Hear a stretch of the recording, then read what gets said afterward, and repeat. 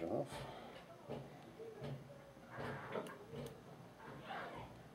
One more. All right. So, tell me a little, a little bit about uh, the uh, the contest.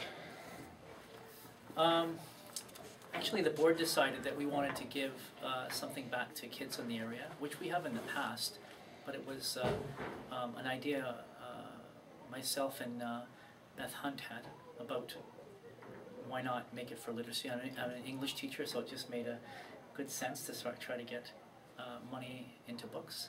I still love books, regardless of all the other uh, media things that are going on, and so we thought, what a terrific way to sort of get the ball rolling with some publicity and also to give some money away. So that's how the idea started.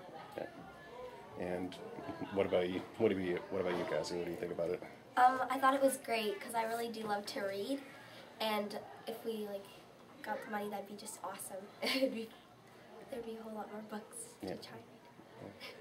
And what about you? We were delighted. We're not a terribly large school in comparison to some of the other area schools, and uh, but we were pretty proud of Cassie being being Annie. So we had um, we had it on the announcements, and we were really talking it up here at school. So we were surprised, but tickled pink when it turned out that we were the ones that had the most school names on the back of tickets. Mhm. So now, how did the? Uh, just explain how the contest worked.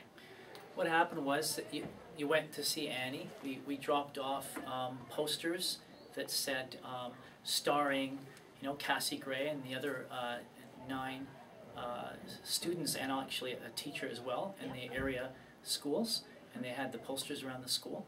And basically, if you had a, a, a vote, you could buy a ticket. You could just throw your ticket in the box after you saw the show at any given night of the 10 shows that they did. And the school with the most number of tickets with their name on the back won. And Dale Road had 134, I think, and uh, Gummo had 114. And Baltimore, your, your other school that you were at before that, was Yeah. third place Yeah. uh, with, I think, somewhere around 98 or something. Yeah. And it was pretty easy concept, but uh, it, it stirred up a lot. We had 780, I think 790 children, local children, go to see the show out of the 3,000 tickets sold. That's a lot of kids. That is a lot of kids. Now, is there any plans to do anything like this uh, with the uh, the next show?